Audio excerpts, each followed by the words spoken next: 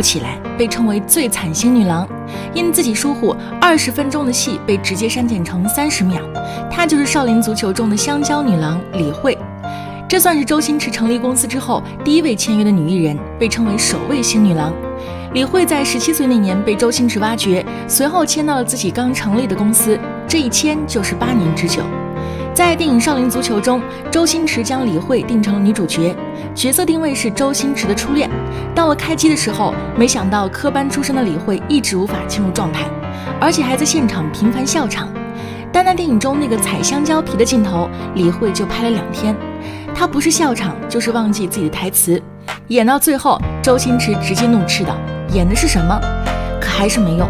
李慧似乎很不珍惜这次和星爷的合作，无奈最后只能改剧本。李慧也从女一号降为了女二号，最后直接把原先二十分钟的戏份删减成了三十秒，从女主变成路人甲。有人说，她从万众瞩目的女主角变成了一个踩香蕉皮的路人，可谓是史上最惨星女郎。但喵喵觉得，不是上天没有眷顾李慧，而是他忽视了这次和星爷合作的机会。而仅剩的那三十秒，也是星爷看在面子上为他保留的。李慧先是从少林足球的女主角变成了出场时间只有几十秒的路人甲，之后在星辉的八年时间里只拍了两部电视剧，分别是《少年包青天二》中饰演陆香香和《功夫状元》里饰演念慈。